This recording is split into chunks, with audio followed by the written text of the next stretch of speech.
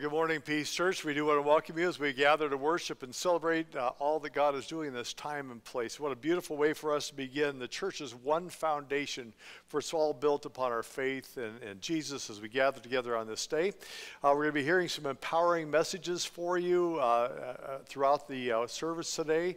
Uh, we're starting a new way to share scripture readings. Our council members are going to be sharing a scripture with us each week. So you get an opportunity to meet and to know all 12 of our council members over the next several weeks, and we invite you to engage with that process as well. Today, as we gather for worship, we invite you to get your elements ready for communion. We will be celebrating communion throughout the service. Uh, Pastor Winston will be leading us in that a little bit later on. So get those items ready, whatever you have in your home, whether it be bread or cookies or baked goods, whatever it is, uh, uh, grape juice or orange juice, whatever it is. Just make this our, our special way that we connect with one another during communion. So, Pastor Winston, tell us what's going on in the life of our superheroes.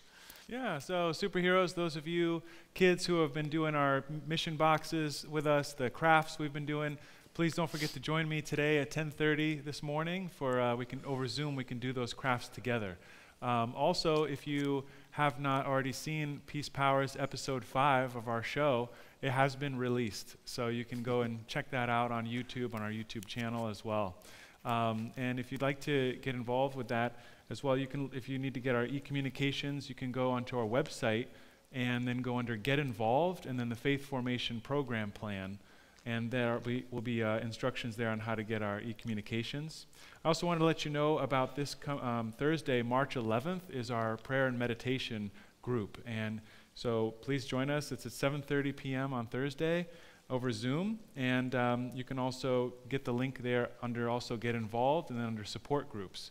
You can um, get that Zoom link.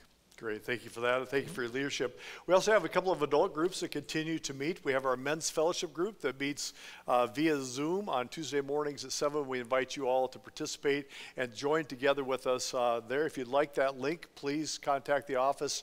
We'll make sure that you get connected in a very special way. Also, our women's group meets on Monday evenings at 8 o'clock. The same with that. If you'd like to become involved with that, they're reading a book, but you can still come and participate and get caught up. Please uh, let the office know. They can make sure that you get that link. It's also being sent out via our weekly e-ponderings and also on our website. So please uh, check that out. We'd love to have more people involved with that. We have a great group already in both those groups, but we invite you to participate fully with that. We also want to just celebrate all of our prayers as we celebrate what God is doing in this time and place for all the ministries and all their outreach that we continue to provide. Uh, even in the midst of COVID, we, we are still connecting in the community far and wide. For that, I give great thanks for all of you who do your outreach and your mission work.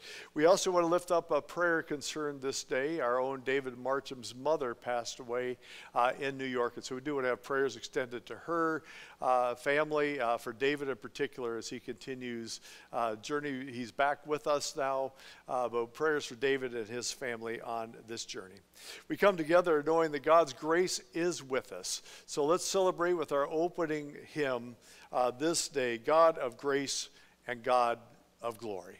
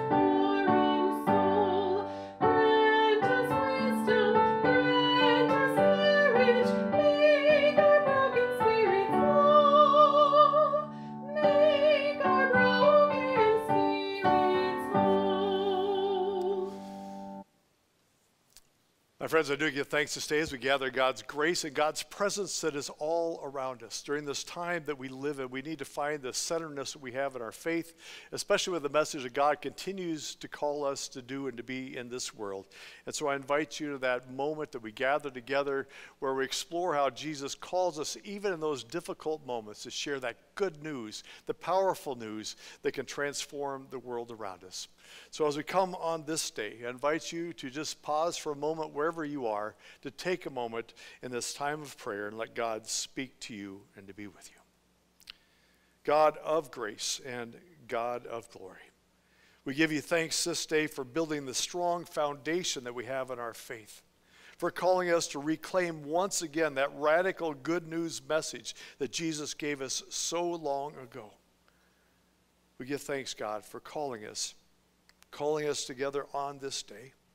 Whether we're gathered or scattered, whether we are in town or thousands of miles away, wherever we are, we know that we are bound in your grace and bound in your love, and your message of hope binds us together. So, God, continue to be with us, continue to form us and shape us, and to be with us.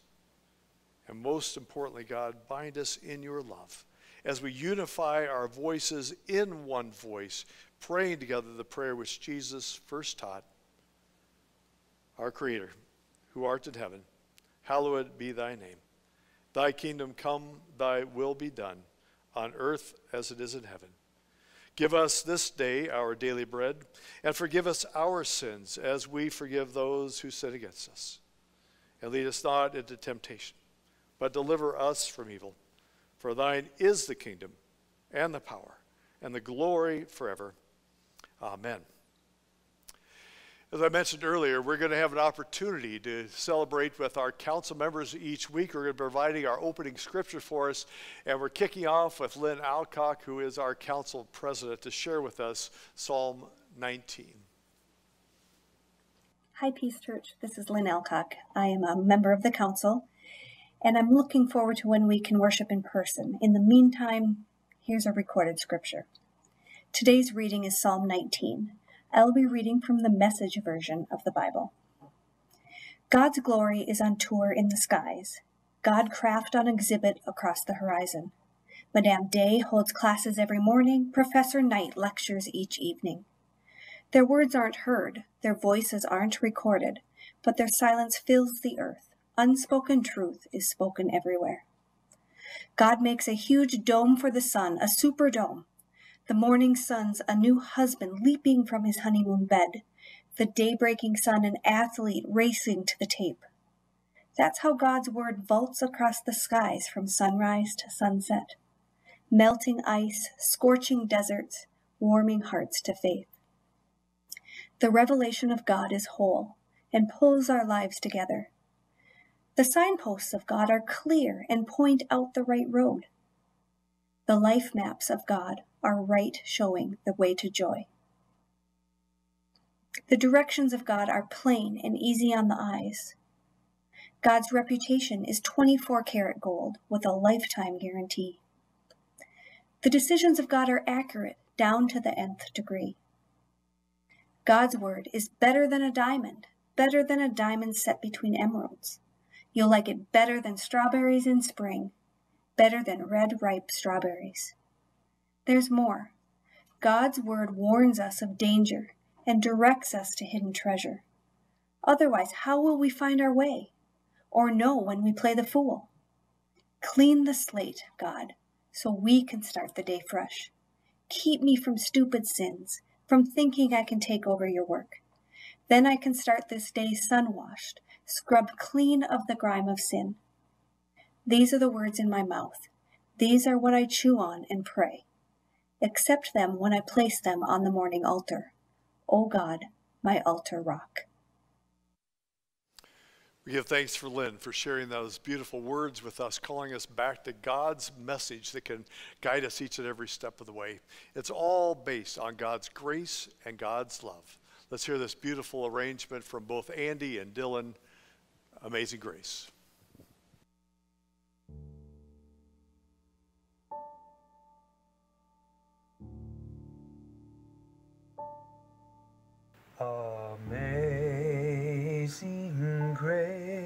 Alas, how sweet the sound that saved a wretch like me. I once was lost, but now am found. Was blind, but now I see.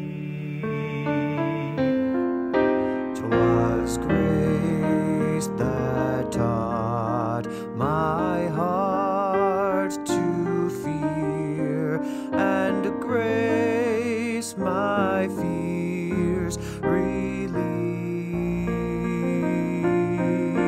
How precious did that grace appear the hour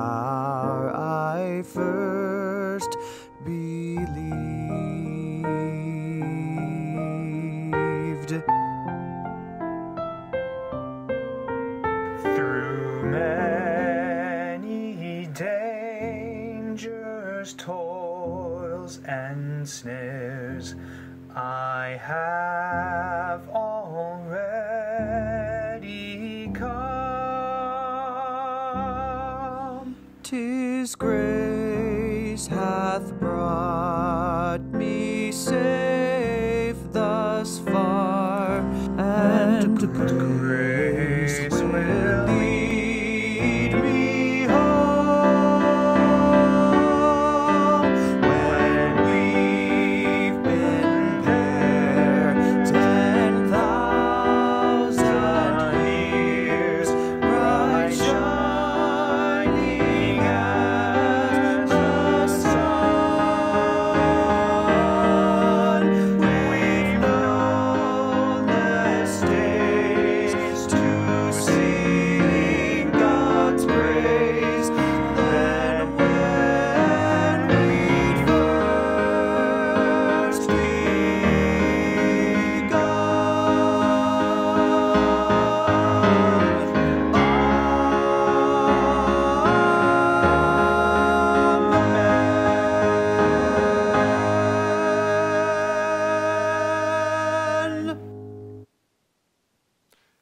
I say amen. We give thanks uh, for both Andy and Dylan. Dylan always finds a way to get these creative pieces together. Um, and I do have to say that Andy is outdoing Dylan in his uh, uh, beard growing event. So we give thanks for that as well. We do want to take a moment as we uh, uh, continue in our service to celebrate all that God is doing in this time and place. Uh, Pastor Winston mentioned earlier about the superheroes uh, that are taking place out in our community. And so we want to hear our children's message for today from Pastor Winston. Hey kids, Pastor Winston here. So, if we saw the last episode, if you haven't already, check out episode five of Peace Powers. A lot of stuff happened there, and as you can see, we're really coming to find out that Brick Brain and Frozen Fiend are lost.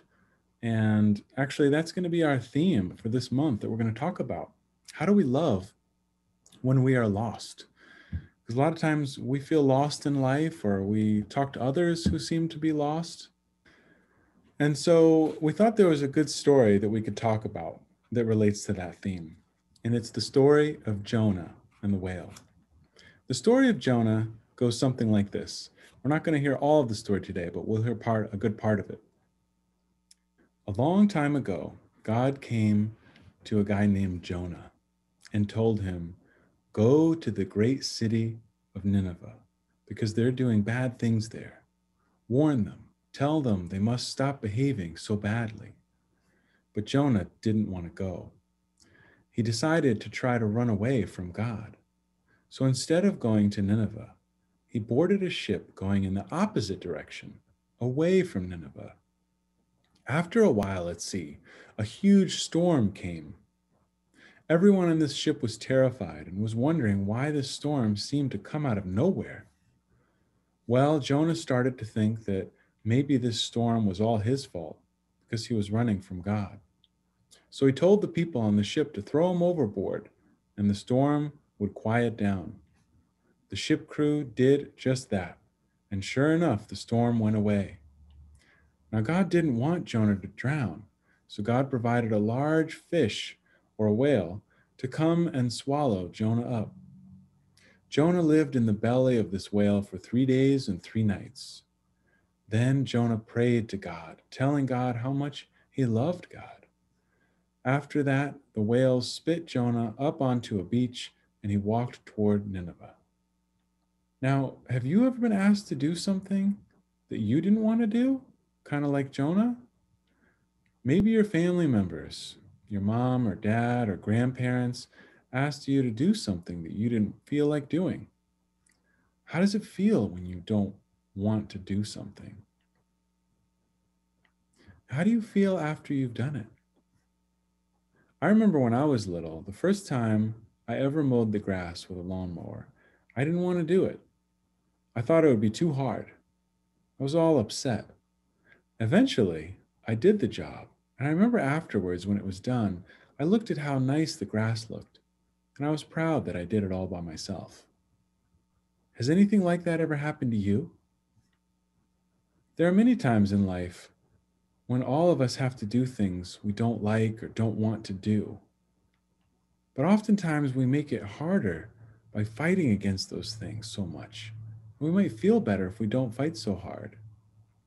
Remember that by doing hard things, that's often how we grow. And we do hard things because many of them are important. For example, people don't like to clean, but we like to have clean things clean rooms, clean dishes to eat from, clean clothes. So we have to remind ourselves sometimes why we do difficult things. And remember that yes, there are times when we have to do work, but there are also times that we can play and to try to enjoy all the parts of life as best we can. Now, before we go, don't forget about your crafts this week. You're actually going to make a Jonah and the whale, kind of like a toy, uh, out of clothespin and some supplies. So take a look there and join us too over Zoom. We can do the crafts together after the service if you want. Well, that's it, and I hope to see you again. Go Peace Powers. Well, thank you, Pastor Winston, for sharing uh, that message with us. As we continue to uh, engage and explore how God is calling us to be united one with another, we know that God's peace is with us each and every day. So let us enter this time of prayer, inviting God to bless us and to hold us and to keep us. There is peace.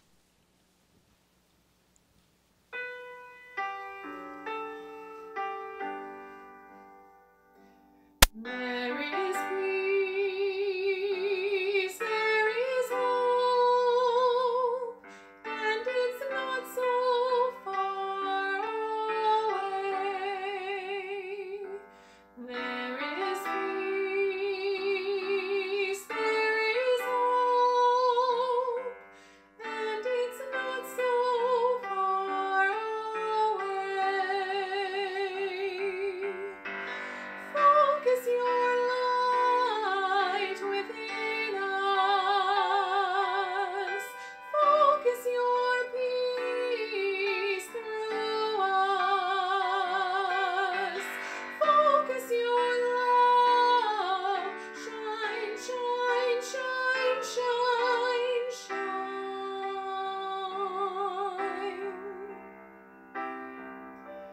There is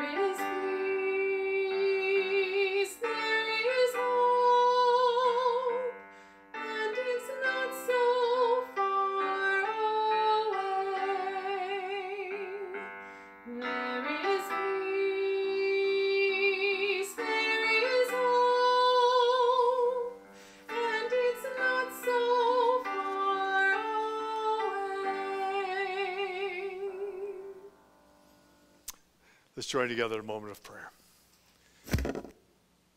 God, we know that there is peace, there is joy, and there is hope. It all comes through you.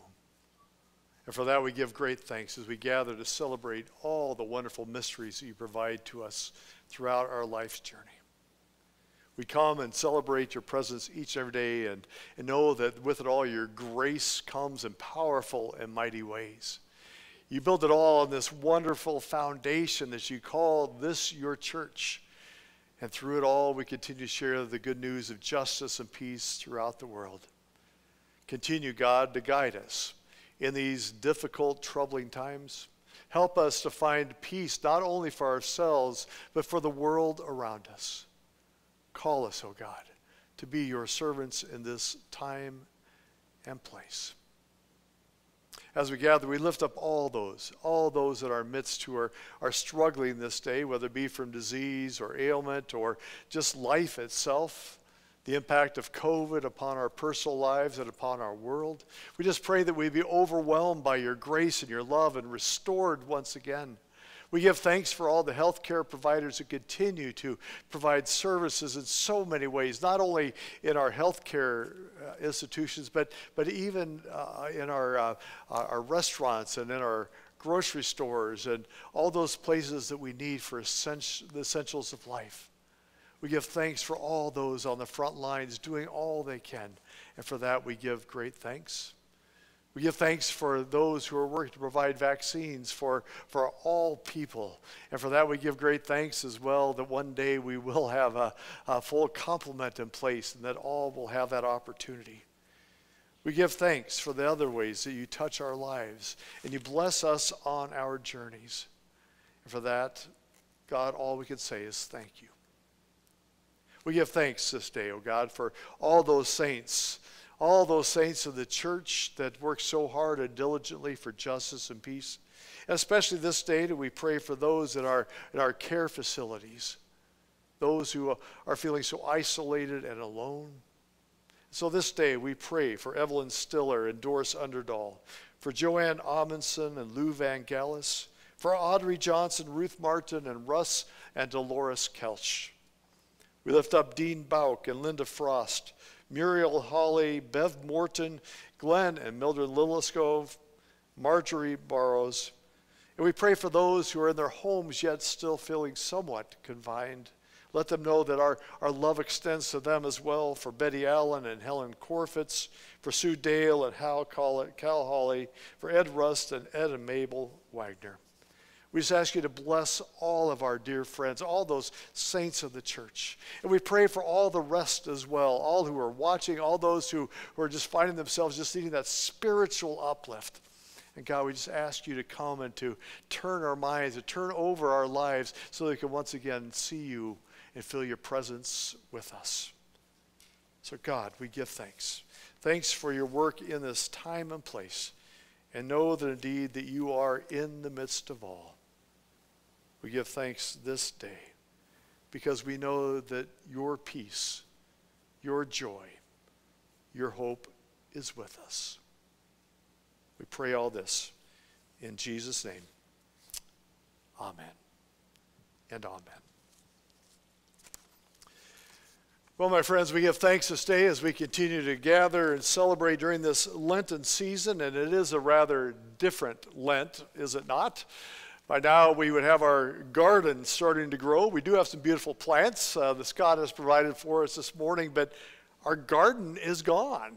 And it feels a little empty up here and naked. But I know that we are not alone on this Lenten journey. And so I want to read this passage, which is a very familiar passage for many of us as we continue to engage in our journey through Lent. This powerful passage of Jesus cleansing the temple from chapter 2 of John, verses 13 to 22. The Passover of the Jews was near, and Jesus went up to Jerusalem. In the temple, he found people selling cattle and sheep and doves, and the money changers seated at their tables, making a whip of cords. He drove all of them out of the temple, both the sheep and the cattle. He also poured out the coins of the money changers and overturned their tables. He told those who were selling the doves, Take these things out of here. Stop making my father's house a marketplace. His disciples remembered that it was written, Zeal for your house will consume me. The Jews then said to him, What sign can you show us for doing this? And Jesus answered them Destroy this temple, and in three days I will raise it up. The Jews then said, This temple has been under construction for 46 years, and will you raise it up in three days? But he was speaking of the temple of his body. After he was raised from the dead, his disciples remembered that he had said this, and they believed the scripture and the word that Jesus had spoken. Now, I love that passage. We all know that one so well. We hear about that from our childhood days in Sunday school. Throughout our journey of faith, we hear about the story of Jesus turning over the tables in the temple. Now, when I was preparing for this this week, I, I uh, was on a couple of Zoom calls with people, and I had a couple of phone calls, and I, and I received that inevitable question that we always receive, especially during Lent. And it goes something like this Pastor Paul, why was Jesus executed? That's one of those tough questions that we pastors get because, you know, we pastors, we can't say anything in short phrases. We have to embellish to the winds. But I tried to give the best answer I could. And while there are many gospel stories about Jesus being on the outs with the religious leadership of his day, this story, this one about turning the tables in the temple, is that proverbial straw that broke the camel's back for him. Now, Jesus, if you look back over his life, had a, had a rather tumultuous relationship with organized religion. You'll remember how, as a young child, Jesus went with his family to Jerusalem for the high holy days. And while there, he, he engaged the theologians in, in such hot debate that he forgot to go home, much to the chagrin of Mary and Joseph, his parents. And later, as a young man, Jesus preached in his own hometown synagogue in Nazareth. And his radical, revolutionary message was, was so upsetting that the people tried to throw him off a cliff, and he managed to escape. And now, in the 33rd year of his life, Jesus once again clashes with that religious system. And, but this time, there was no escape. His angry tirade at the, the money lenders and the, the sacrifice sellers in the temple courtyard will blunt any remaining goodwill felt toward him. And while his claim that if the temple is destroyed, he will raise it up again in three days may be a reference to his own death and resurrection. In the real time of the moment, it comes across to those who are there that day as nothing less than a threat to destroy the most sacred of their holy places, the temple. The gospel writers tell us that after this outburst, the decision is made Jesus must be destroyed. Now, if you really want to dig deep into this passage, which I love to do, if you really want to dig down deep inside this passage, it's important to note that Jesus' radical revolutionary ministry of grace was always controversial, and yet, until now, it did not result in capital punishment. So I want you to think about this. When he offered forgiveness of, to the sinners, there were questions about whether he had authority to forgive sins, but they didn't kill him for it. When he healed on the Sabbath, there were, there were complaints that he was violating Sabbath laws, but they didn't kill him for that either. When Jesus cast out demons from those troubled souls whose lives were tormented by evil, some whispered that he must be caught up in the darkness of the occult. But they didn't kill him for that either.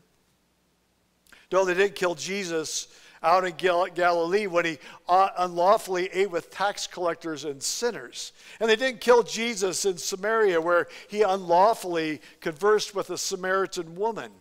They didn't kill Jesus in, in, Bethany when he raised Lazarus from the dead. And they didn't kill Jesus in Simon's house where the prostitute poured oil over his feet and then tearfully wiped them up with her hair violating the social norms and laws in so many ways.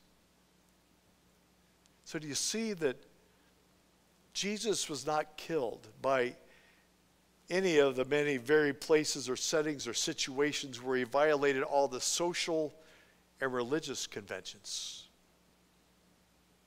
It wasn't until he brought his gospel, the real gospel of love and grace to the church, that Jesus was put to death. Now, I love to listen to your stories. I love to hear stories about your faith and how God has come into the midst of it, about how God has touched your lives in redemptive and transformative ways.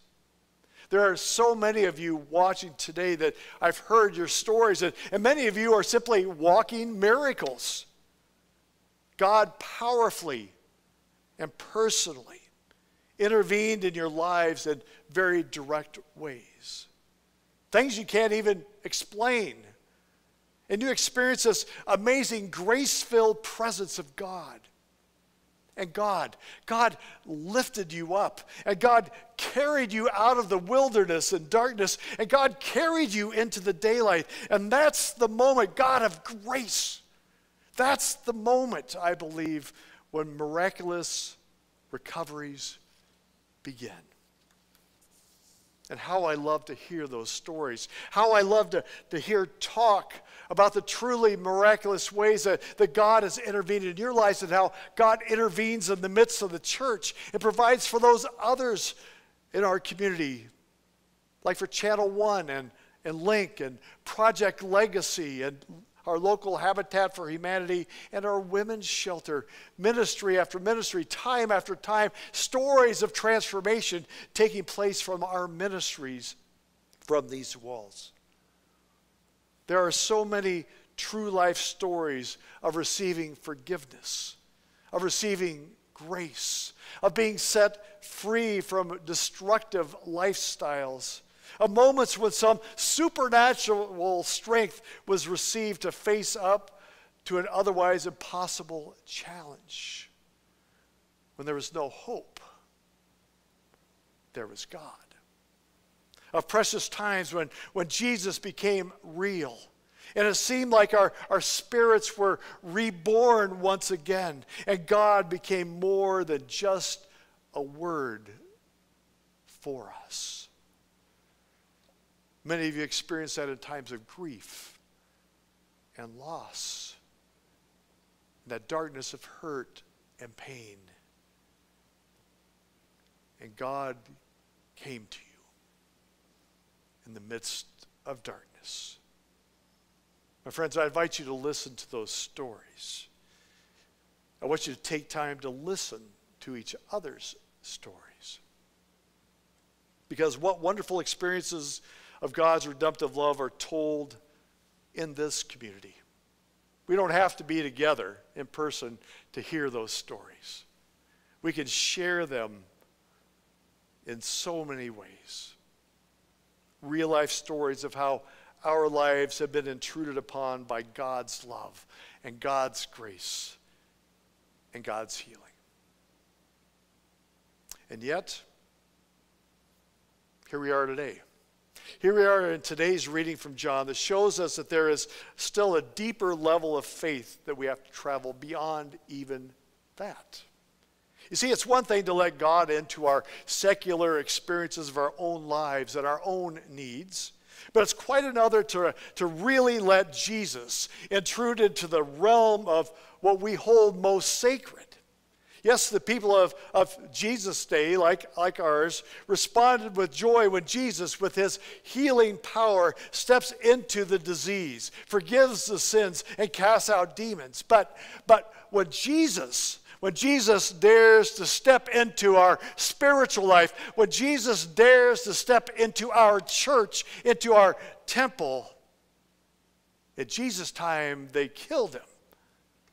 And I wonder what we do when Jesus does the same to us. When Jesus comes and turns our lives upside down, I began to wonder what would really happen if Jesus would show up here at Peace Church. If uh, this coming rally day, which happens to be September 12th, when we're all going to be back together again, I wonder what would happen if, if Jesus came back and joined us for our celebration day. Frankly, I think it'd be a, a fantastic experience. I'd be willing to bet that if that Jesus would start his day going to faith formation, and I don't think he'd go to the adult class. I know he would find his way down to the dwelling, to the middle or, or high school classes, because they have more fun down there. And there I think Jesus would sprawl out on one of those cushy couches. And I could just picture him spread out there, blaring out Billie Eilish and laughing with the teens and talking about things like, like dating and learning how to drive a car and how to live with faith without feeling weird about all of it. And then after that, after spending time with the, the teens, I could, I could picture Jesus coming up to the, the sanctuary on that day and looking all around at all the wonder and the beauty and all the symbols. And I think as, as we came, came together, as Jesus would be sitting there and the opening song would be sung, I think Jesus would be singing, uh, singing at the top of his lungs, causing people to actually look at him strange thinking, so that's how we're supposed to sing those songs. And when we pray for forgiveness, when we pray for forgiveness, I think Jesus would stand up at the end of the prayer and say, You really are forgiven. Now take it and run with it. And Jesus, I'm pretty sure, would go individually to each person who's sick and suffering and just touch them with some life giving way. To each person who is lonely, and he would befriend them. To each person who is, is, is weak and strengthen them for the challenges they have to face when they go from this place back to their home. And then, after meeting all our deep human needs, I think Jesus would overturn our tables. He would go do the, to the things that we hold most sacred in life, our deepest religious values, our most strongly held convictions about God, and Jesus would expose them as being inadequate and perhaps even fraudulent. And like on that day long ago, Jesus would turn our sense of sacred on its holy head. Jesus would overturn all those simple thoughts that we have, uh, the fluffy Jesus that we, we love to know and turn it into a radical message of transformation for the world. And then we, like so many others before us, would probably want to kill him too.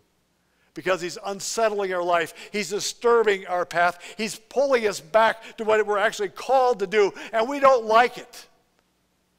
And we cry out, How dare you, Jesus, come into my life and disturb my faith? Who do you think you really are? To call us from our comfortable life into a life that promotes peace and justice and love for all the people. After all, it's one thing to receive a miraculous healing in our life, but it's quite another to learn that all your life you've been actually wrong about God. It's still another to learn that even after you've experienced God's love, you're still wrong about God. Because we have to get back to the message that Jesus first taught. What our faith is all based on, and that's to liberate the oppressed, to feed the hungry, to house those who have no home. And we got to stop making it about me because it's about God God's grace and God's love. So Sonia Ho gave us a wonderful story the other day. It's a Linus story. Linus and Lucy are old favorites. It goes like this Lucy tells Linus that America needs to go back to biblical principles. So Linus asks, So should we feed and shelter the poor? But Lucy answers, No, I'm not paying for a lazy person. So Linus asks, Should we visit and comfort prisoners? Well, Lucy responds, No, they don't deserve that. So, should we pay our taxes without complaining? asks Linus. No, that's, that's my money and I want it. Well, then we should show love and mercy freely. And Lucy answers, No, that has to be earned. Linus asks, so, so we should avoid violence. Lucy answers, no. We have to take out those bad guys. So Linus then asks, should we be gracious to foreigners? Lucy responds, no, they shouldn't be here. Finally, Linus asks, should we seek to end social injustice throughout the world? And Lucy answers, no, that's not our problem. And somewhat frustrated, Linus finally asks Lucy, then, which biblical principles are you talking about? You see, I'm afraid in our faith we've fallen into a Lucy trap. We found ourselves trying to succumb to the easy way that doesn't talk about the truth of the gospel, about Jesus coming in and overturning our faith and calling us back to the firm foundation, the church's one foundation. You see, I believe that this unredeemed sense of the sacred is what causes us Christians to be the scandalous people that we really are. Bishop Desmond Tutu once said, It was Christians, not pagans, who led the Crusades. It was Christians, not pagans, who were responsible for the Holocaust. It was Christians, not pagans, who lynched people here in the South. It was Christians, not pagans, who burned people at the stake, and all in the name of Jesus Christ. End quote. What kind of sacred value causes such demonic behavior? You see, our sense of the sacred, what we hold most deeply believe about God, makes all the difference in how we live our lives. So here comes Jesus. He's charging into the places that we hold most sacred. He challenges our ideals about God. He shows us another way. He introduces us to an experience of the sacred that is far different than the one that we built our lives on, the far different than what we've learned in Sunday school, even what we've heard in so many sermons and for so many years. Jesus shows up. And he shows us a God like we've never seen before, and he calls us once again back to the foundation of God's love, radical love for all people. In this setting of the temple in Jerusalem, where sacrifices are required to obtain forgiveness, we learned previously from the prophet Isaiah that God does not desire us to offer sacrifices to him, but rather to offer mercy to others. Hosea 6 6 says, I desire mercy and not sacrifice, says the Lord. What an amazing claim. All our lives, all my life, we've been told that God requires a payback for sin. That's why the animals are being sold in the temple, after all. That's why the money is being exchanged to provide an opportunity to pay back God for the sins. But here comes Jesus. He says, No more of this. And he turns the tables over. And in that moment, God shows us that God does not want payback. God only wants mercy and justice and grace. God wants to give mercy to you and freely forgive you. And God wants you to give mercy to others with no cost, just grace. And that's really the role. That's really the role of the church in society today. We're not here to judge people. We're not here to point out what's wrong. We are not here in this world to be an isolated island of righteousness and goodness. We are not here to complain about the inability of humankind to live up to the standards of God that we want to impose and to warn them that payback time is coming. Oh no. We are here to dispense God's mercy. We are here to dispense God's love and grace and experience that grace in amazing ways. So I believe, I believe that the, the role of the church is to open up our arms to all people Our job is to live and to share God's radical good news for all the people in word and in deed that God is merciful, that God is gracious and slow to anger, abounding in steadfast love, and God wants to lift up the oppressed. I desire mercy, not sacrifice. In the Gospel of Mark's version of this story, he lifts up that the temple should be called a house of prayer for all the nations. And so, one of my deepest hopes for this church, our church, Peace Church, our temple, that we will be increasingly become a house of prayer and a blessing for the nations, a setting of mercy and grace within which people of faith, convinced of God's love for everyone, will exhaust ourselves advocating for the well being of the other. How different the world would be if the voice of the Christian church, how different it would be if the voice of Peace Church spoke not in a language of judgment and condemnation, but in the language and the prayer of love, seeking good for others. And not just for some, but for all. Oh, Jesus is turning tables on those of us who believe. Yes, even us. Yes, even me. For faith is deeper than just receiving God's grace. Faith requires us to let Jesus step into the most sacred places of our hearts and teach us to believe in God all over again in new and powerful ways. So I pray. I pray that we let Jesus come and visit our church, that we engage in the truth of the stories. And when we do, to let Jesus actually turn over the tables that hold us back. The other day, Claire came running back to my office, out of breath and very upset. She exclaimed, Paul, you don't you won't believe this, but but but Jesus is here. I just saw him pull into the parking lot, and now he's come to the door. What are we gonna do? Without even looking up from my computer, I said, Look busy. And that's the point.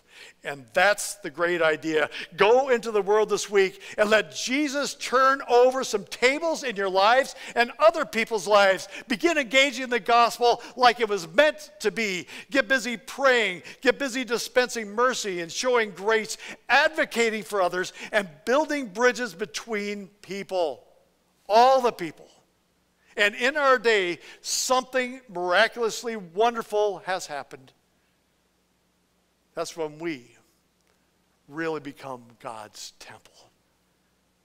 My prayer is that we become a merciful, merciful, grace filled house of prayer for all the people, and not just in these walls. It's what we do when we step out from this place, what we do from our homes, what we do in our work and, and, and places that we engage with people.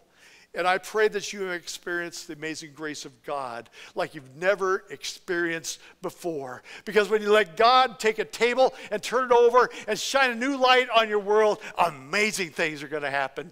And I'm so thankful, thankful for that. So, people of peace, let's get busy. Let's be open to what God has in store for us next. Amen. My friends, we come to this time to celebrate how God calls us to gather around table wherever we are, scattered or gathered. We come to God's table on this day.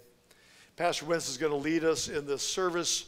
We just invite you to uh, experience the table of grace that is before us. Thank you. Yes, as um, as Paul mentioned, just grab any elements that you can around you so you can participate with us at this table, the table that Jesus called all of us to the vulnerable, the hungry, it doesn't matter. You're invited to God's table. And a long time ago, he gathered with his friends and he took the bread and he broke it, saying, This is my body, which is given for you. And after he gave thanks, he likewise took the cup and he poured it, giving thanks and saying, This is my blood, the blood of the new covenant.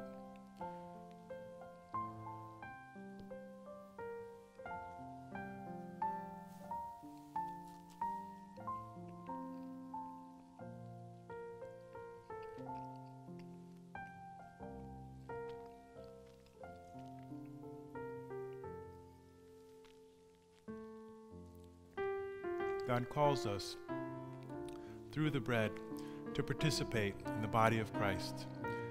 And God calls us through the wine, blood, to participate in the new life that Christ gives us. Amen.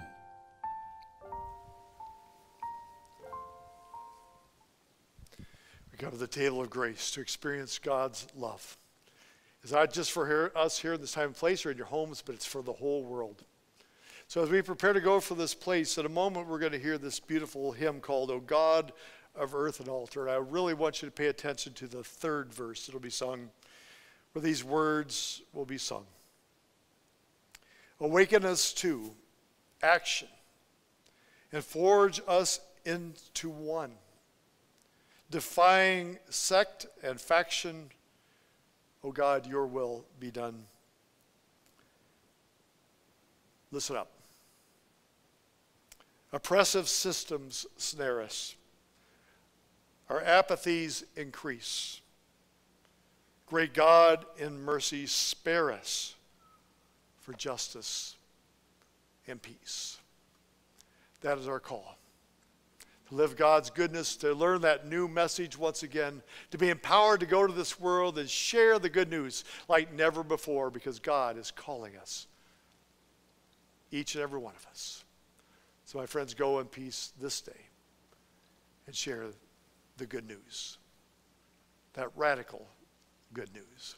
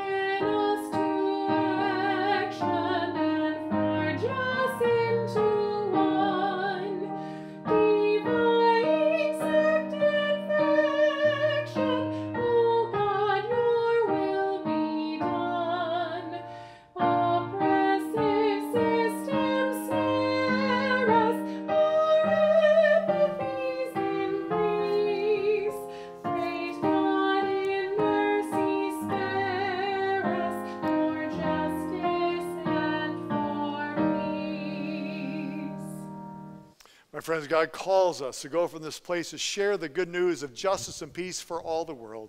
So as we prepare to leave this time of worship, remember who God has called us to be. Because this is our church. We Make it what it is. Others will feel welcomed. if I am welcoming, It will do a great work. if I I work, work. It will make generous gifts to many causes. If I am a generous giver of my time, talents, and treasures. It will be a sanctuary for social justice and for peace. if I advocate for marginalized communities and practice peace in every setting of my life. It will be a church that embraces all, that builds community, and transforms lives. If I, who make it what it is, practice these things. Therefore, with the grace of God, the grace of God, we shall be a safe and inclusive church living that beautiful, radical message of love. And I shall dedicate myself to being all the things I want my church to be. Amen. My friends, go in peace.